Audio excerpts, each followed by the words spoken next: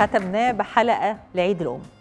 والحلقة كان فيها رسائل كتيرة متوجهة للناس للمشاهد للأمهات وللأبناء.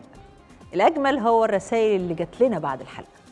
كلها رسائل بتأكد إنه إنه يمكن كان في معاني حلوة إنه كان في أفكار حلوة.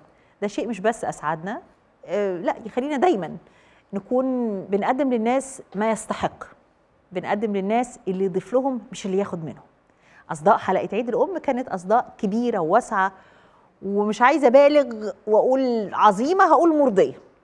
آه الأس اللي يخلينا نسعد أكتر أو ننبسط أكتر إنه الناس تكون استمتعت أمام الشاشة و...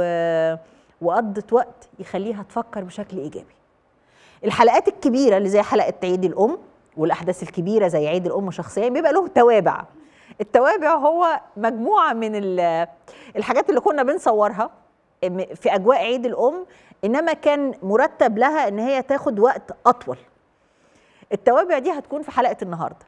وبعدين إيه المانع إنه يبقى في معظم حلقاتنا توابع؟ توابع حلوة. إحنا قلنا في حلقة عيد الأم لو عايز تغير حاجة في حياة والدتك أو في بيتها أو في في محيطها وقدمنا فعلا حاجات لطيفة جدا. أو غيرنا حاجات يمكن تكون صغيرة يمكن تكون كبيرة بس عملت تغيير وهو ده مربط الفرس. إن أنت تكون مؤثر إن أنت تصنع تغيير. التغيير ده ممكن يبقى في الدنيا ممكن يبقى في نفسك. خلينا مستمرين على النهج ده أن نصنع فرقا. إنه يبقى مش مجرد برنامج نقضي فيه أو نقضي قدامه ساعات ودقايق لا إنه يحصل فيه فرق. طب ليه لأ؟ لا نصنع الفرق على طول الوقت أو كل ما نقدر. مش لازم بس تكون حلقة كبيرة زي حلقة عيد الأم. وبالتالي إحنا مستمرين النهارده في صناعة بعض الفروقات اللي ممكن تغير حاجة كبيرة أو حاجة صغيرة.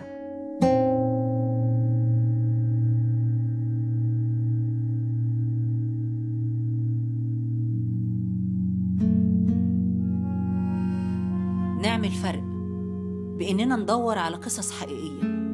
على ناس حقيقية يستاهلوا إننا نكون واسطة خير بينهم وبين الدنيا كلها. الحاجة صيصة الست اللي كافحت 43 سنة بالجلابية الرجالي عشان تربي بنتها الوحيدة بعد ما مات جوزها. كبرتك وديتك المدرسة لحد سادتي وما فيش مصاريف كنت عايز أعلمك ما فيش. قعدت كدكتور وأشيل قصرية وأشيل قرواني وعزقت ونقرت في الجناين. وجوزتك سنك 16 سنة جوزتك عارفة لو راجل ما كنتش عملت كده.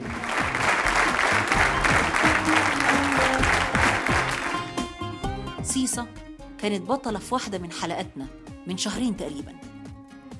حكينا حكايتها. ما انت كان ممكن تتجوزي يا آه. حضرتك لا لا لا أزعل. لا لا لا. الأصيلة تقعد على عيلها جوزها آه جوزها مات. تقعد عليه الله تبيع ترمس. دي امي أغلى من نور عيني يعني لا هي أنا ما كانت شرت. لا هي كانت شرت صح يعني. ما لقيتش ظهر حنين غير أمي. بس لما حكيناها ما حكيناهاش بشكل مأساوي. لا ضحكنا وتأملنا وسمعنا كويس. نمشي شوف. اتقلبت الجزمة البيضاء قلبتها اسودة والله للزبون والله. آه الزير ده بقى احكي لي على الزير. ده هو التلاجة، هو الزير التلاجة هو الزير ده الثلاجه خمسة قدم؟ آه. الله يحزك يا حاجة صيصة بقى انت مسمية. آه لا تعذيرك آه أيوة. الزير بتاعك وراك هي أمك مسمية الزير هي الثلاجه خمسة قدم؟ هي خمسة قدم هي هي. أنا بدعي لك إنك تكملي حياتك بعزة وكرامة زي اللي ابتديهم وتنهيها بعزة وكرامة. بمجرد آه، حصلت المداخلة مع البرنامج ومع الأستاذة منى قدرنا ندبر آه، الكشك آه، عشان نحقق أمنيتها والحمد لله الكشك جهز حاليا وطلعنا له الرخصة بتاعته وأنا سلمت له الرخ... سلمتها الرخصة دلوقتي.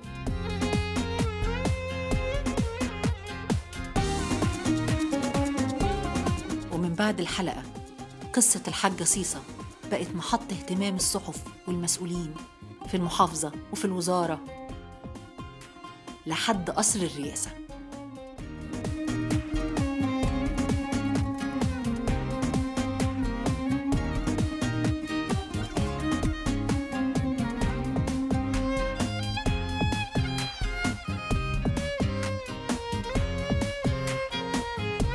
في عيد الأم وزارة التضامن الاجتماعي كرمتها كأم مثالية.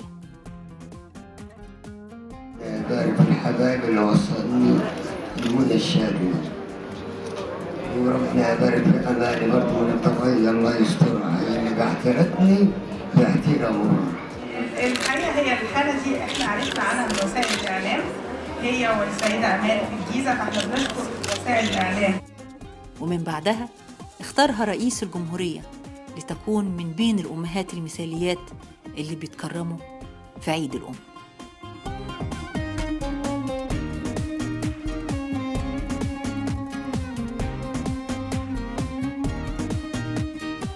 قصة تصنع فرقاً.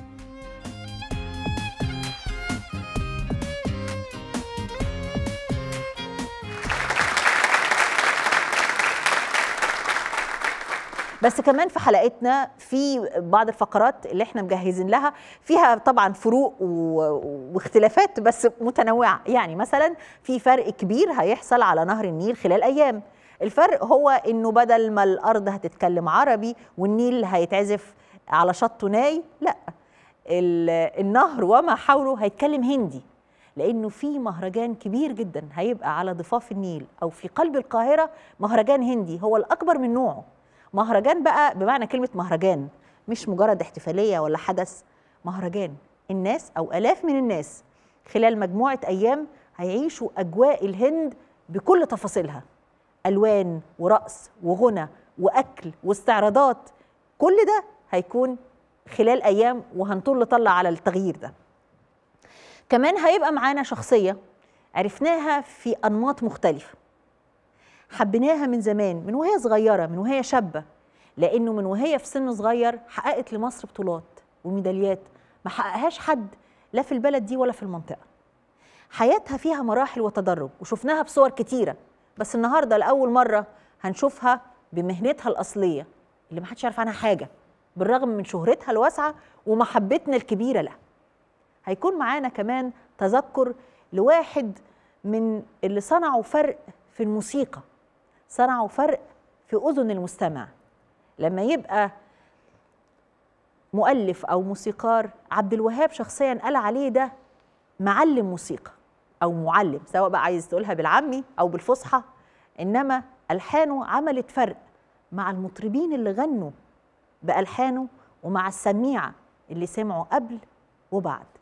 خلينا دايما نصنع فرقا من خلال الشاشة الصغيرة وبعد الفاصل هنبتدي الحلقة فورا.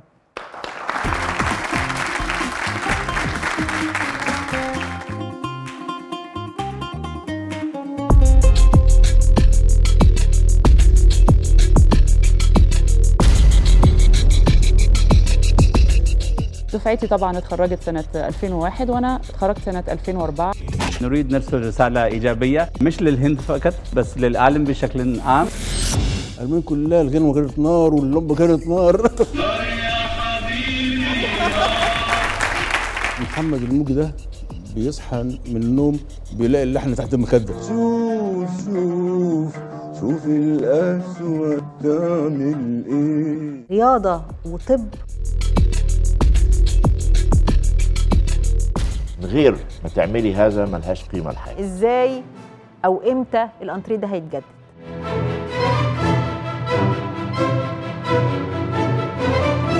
وأنا عملت إيه كده حلو عشان يحصل كده؟ ما شاء الله عليه هو ذوقه رائع يعني. كنت واقفة زي زيها. كنت كانوا بيقعدوا على الطبلية مع بعض؟ مفيش فرق في علاقة بين الشعب. انت خلاص وصلتي لطموحك. ما تصبرنيش.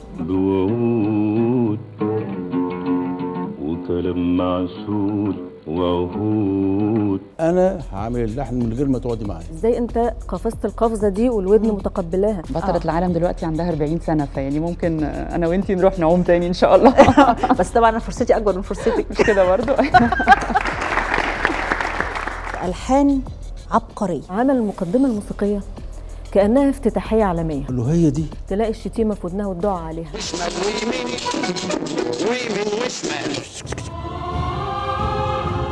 قولي بقى انت كنت عايزة تغيري الانتريه ليه؟ ولاد أطفال بهدلة.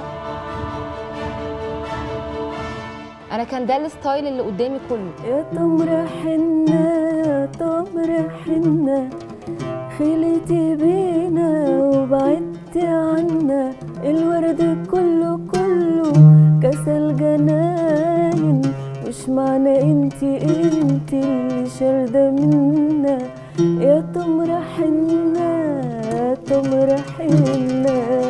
ないで。